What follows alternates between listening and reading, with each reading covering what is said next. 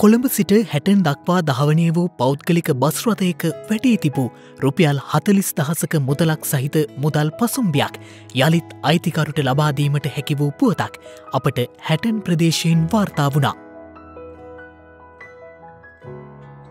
ඒ අනුව එම මුදල් පසුම්බිය යළිත් අයිතිකරුට ලබාදීමට කටයුතු කර තිබුණේ එම පෞද්ගලික බස්රොතයේ කොන්දොස්තරවරයා වූ ශාම්කුමාර් මහතායි. ඒ පස්වර තුනයි තිහට පමණ කොළඹ කොටුවෙන් ගමන් ආරම්භ කළ එම බස්රථයට හැටන් ප්‍රදේශයට පැමිණීමට මගින් දහත් තුන් දෙනෙකු එකවර පැමිණි බවත් එසේ පැමිණි පිරිසගෙන් එක් අයකු බස්රථය පිටත්වීමට ප්‍රථම ආසන වෙන් කර දෙන ලෙස ඉල්ලීමක්ද කළ බවයි කොන්දොස්තරවරයා සඳහන් කළේ. කෙසේ වෙතත් පැමිණි සියලු දෙනාට ආසන වෙන් කිරීමට නොහැකි වූ නිසා ආසන වෙන් කර දෙන ලෙස තමන්ගෙන් ඉල්ලීමක් කළ මගයාට ආසනයක් තිබී නැහැ. කෙසේ නමුත් එම මගියා වටවල නගරයෙන් බැසකොස් මද වේලාවකට පසු තම දුරකතනයට ඇමතුමක් ලබාදී තමන්ගේ මුදල් පසුම්බිය බස්රොතයේ වැටි ඇත්දැයි සොයා බලන ලෙස කළ ඉල්ලීමක් මත බස්රොතයේ සිදු කළ පරීක්ෂාවකදී මුදල් පසුම්බිය තිබී හමු වූ බව එම කොන්දොස්තරවරයා සඳහන් කළා.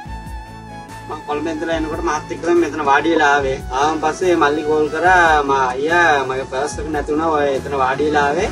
ඉතින්කොට එතන තියනවාද කියලා පොඩ්ඩක් බලන්න කියලා මට කෝල් කරා. කෝල් කරාන් පස්සේ මෙතන ඔයාලා බලනකොට මෙතන තිබ්බා. ඊට පස්සේ මම කෝල් කරලා කිව්වා මල්ලි පර්ස් එක තියනවා කියලා.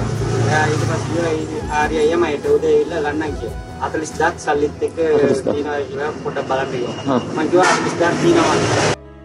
අස්ථාන ගතවී තිබූ තම මුදල් පසුම්බිය නැවත ලබාදීම සම්බන්ධයෙන් එම මගියාවන පුෂ්පනාදන් කර්නන් සඳහන් කළේ තමන් කොළඹ ප්‍රදේශයේ රැකියාවක නිරතව සිට නිවාඩු ලබා නිවසට පැමිණෙන අතරතුර තම මුදල් පසුම්බිය මෙලෙස අස්ථානගත වූ බවත් එහි මුදලින් රුපියල් හතලිස් දහසක් ඇතුළුව ජාතික හැඳරුම්පත් ඇතුළු ලිය කියවිලිද තිබූ බවයි.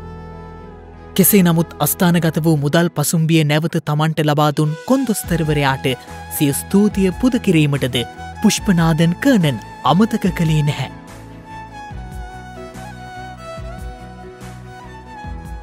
කට්ටිය සල්ලි වෙලා අපිට වැඩක් නැහැ. ඒක මට කලින් එකපාරක් හම්බුණා මට. ඒකත් එයාට මම දුන්නා.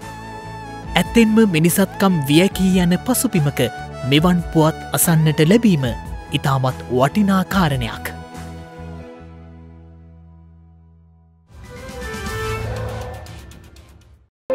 ප්‍රවෘති හැබැයි වෙනස්. මෙවැනි වැදගත්පුවත් නැරඹීම සඳහා ශ්‍රද්ධා TV නිවස් YouTube චැනලය සබස්ක්‍රයිබ් කර සීනුව සලකුණ වන්න.